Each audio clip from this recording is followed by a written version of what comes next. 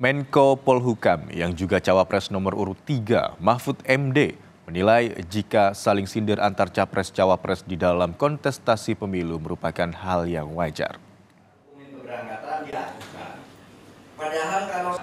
Menurut Mahfud, saling sindir capres-cawapres dalam kampanye tidak dilarang, asalkan punya data.